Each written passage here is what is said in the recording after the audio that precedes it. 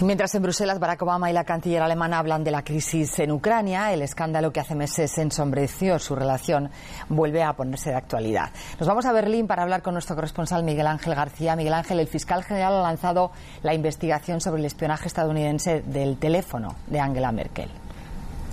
Después de meses de tiras y aflojas, con la oposición reclamándolo insistentemente, llega ahora esta decisión de investigar el presunto espionaje del teléfono de Merkel y solo del teléfono de Merkel, no de los millones de ciudadanos presuntamente espiados también según los papeles de Snowden, lo que ha levantado aquí muchas críticas.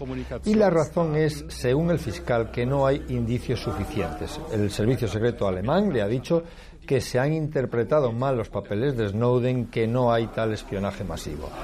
Pero solo el asunto del espionaje al teléfono de Merkel amenaza con poner otra vez a prueba las relaciones entre Alemania y Estados Unidos porque se vuelve a poner sobre la mesa el posible interrogatorio a Edward Snowden, considerado por Estados Unidos como un traidor.